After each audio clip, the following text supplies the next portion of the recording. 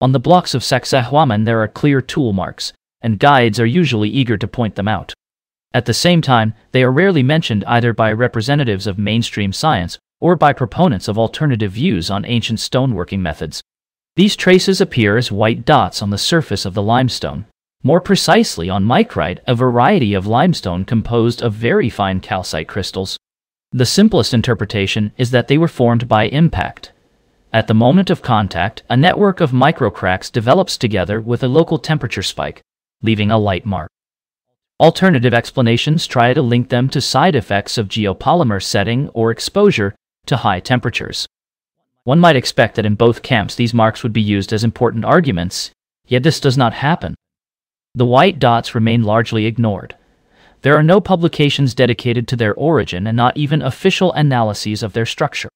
Let's try to understand why.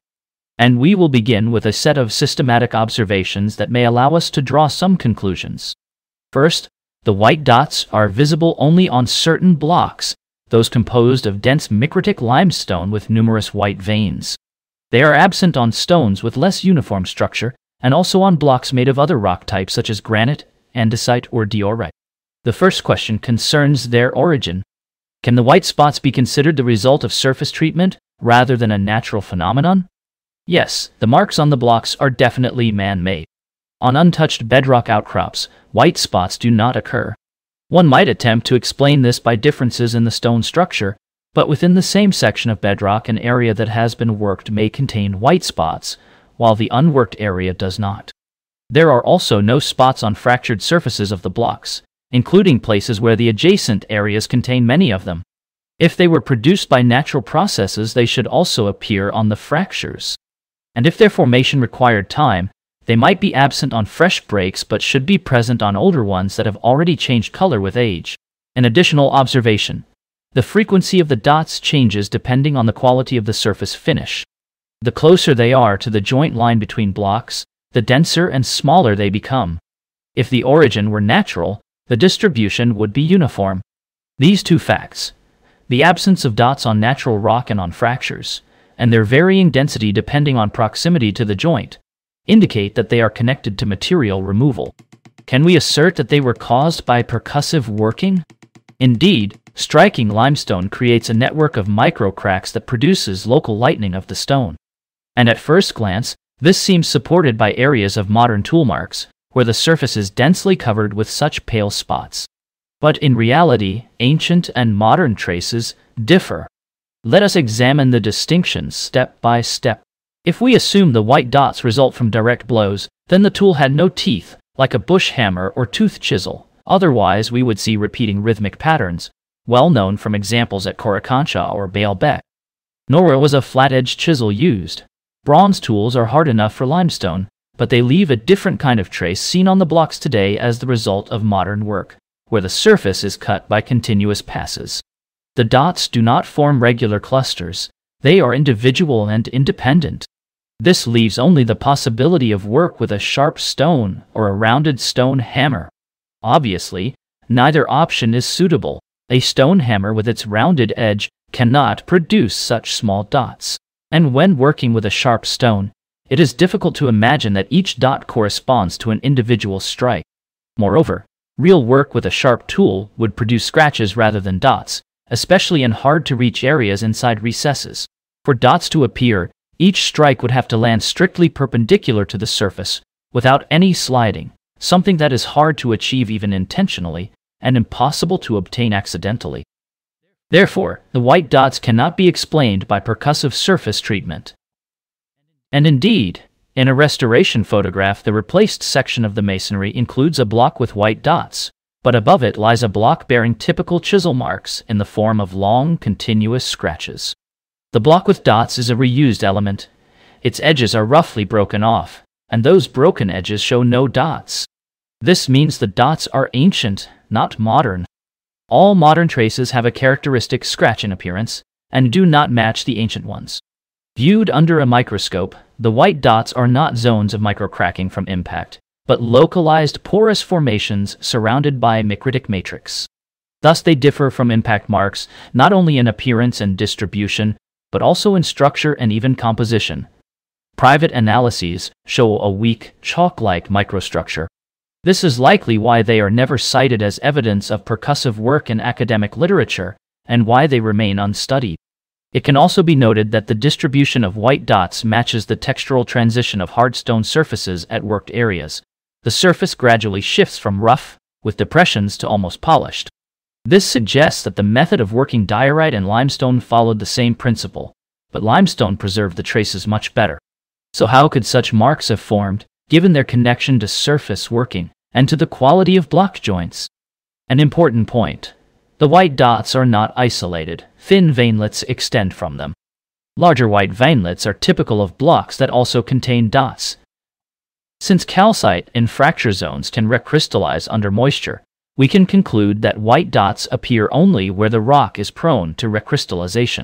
This is why other types of blocks do not have them. Therefore, the white dots are not the result of individual blows at each point, but an indicator that the entire surface was, at some stage covered by a network of microcracks. Subsequent working could have been carried out with simple tools on rock of reduced strength. Over the following centuries, the nodes of this crack network gradually transformed into white dots through calcite metamorphism. Geological data suggest the breakdown and alteration of the original micrite into a recrystallized microfabric through long-term dissolution and reprecipitation processes. A convincing confirmation is the presence of extremely small dots right along the very edge of the joint. These cannot be explained by microscopic tool strikes. Their existence is entirely consistent with a natural post-crack process. Equally unconvincing are the tiny dots inside a recess. If they were the result of impact, one would have to assume that this area was intentionally worked far more thoroughly and with a much smaller tool. Such an assumption cannot be considered credible. The distribution of white dots aligns well with natural phenomena of point-based growth, such as freckles, or siliceous spicules and silica spot formation in limestones. The general principle is the same. Structural, moisture, and chemical heterogeneities create our favorable microzones where localized growth develops.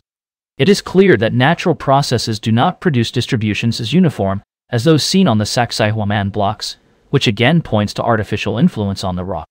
It is reasonable to assume that similar weakening techniques were applied not only to limestone, but also to harder rocks.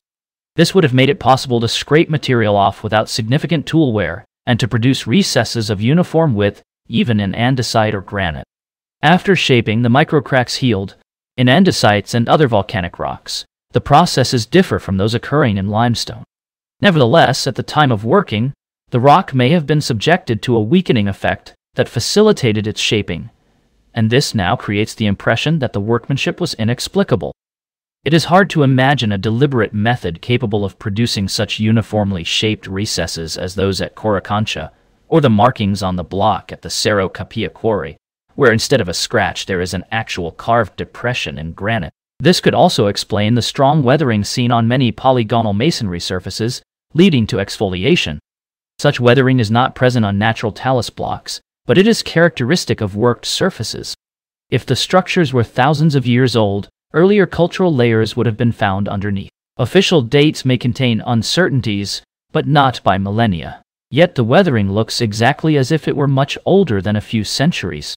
The fact that, in Peru, where there is no frost, hard rocks show active decay may indicate that the stone did not fully regain its original strength and became more vulnerable.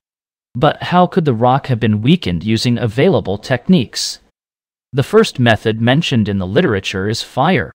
Micrite is sensitive to heating even at 150 degrees Celsius.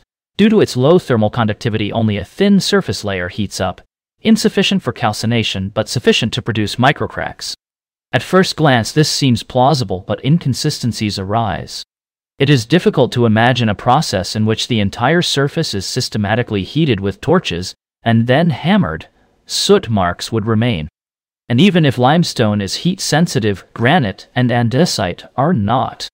They exfoliate under high temperatures or under repeated heating cooling cycles, but this causes irreversible fracturing, whereas the process requires reversible microdamage. It is highly unlikely that the upper andesite courses of Coricancha were repeatedly heated and several millimeters removed each time. The traces show that the stone was weakened to a depth of several centimeters. Fire cannot weaken such a layer evenly and reversibly. Fire creates uncontrolled and irreversible damage. For precision joints, the degree of control must be exceptionally high and must not irreversibly destroy the rock. Additionally, fire would affect not only protruding surfaces but also recessed ones. Yet, in the vast majority of cases, recessed areas do not contain white dots. Of course, one could discard the idea of weakening the stone by generating microcracks, and instead explain the presence of white spots not as the result of individual blows to the surface, but as a consequence of structural disturbance in the areas being worked, where the spots formed in zones of accumulated damage caused not by single impacts but by their superimposition. This corresponds well with the fact that white spots do not appear on unworked surfaces, whereas if we assume weakening of the rock through microcracking, they should occur everywhere. At the same time, a combination of these factors cannot be ruled out. Weakening alone would not, without additional impact in the form of blows, lead to the formation of recrystallization nuclei. In the case of pure pounding, many questions related to stoneworking remain unresolved, some of which have already been raised in a separate video. For example, how and why was a constant width of auxiliary cutouts maintained? Why are they so numerous if they were merely layout marks? Why preserve ridges between elongated recesses? How could such sharp edges be created on brittle blocks using impact-only methods, and why, if the edges could just as well be rounded, why fit even the smallest details together with precision? How can the strong cavernous roughness of the surfaces be explained, given that every blow would have to remove relatively large fragments of stone, which means that the time expenditure would be completely different, not 300 cubic centimeters per hour, but an order of magnitude more. This would imply the production of one block per hour, and so on. Thus, finding an answer to the question of how rock strength could have been reduced, and whether this was done at all, requires separate analysis, which will be presented in the following videos. Conclusion the white dots on the Sacsayhuaman blocks are traces of surface working, not a natural phenomenon. They do not correspond to percussive methods. The most plausible explanation is surface treatment that created a network of microcracks, which then metamorphosed over many years. This suggests that the surface was intentionally weakened before final shaping. The cracks later healed, and the rock regained strength, possibly greater than it had at the moment of working. Thank you for watching. See you next time.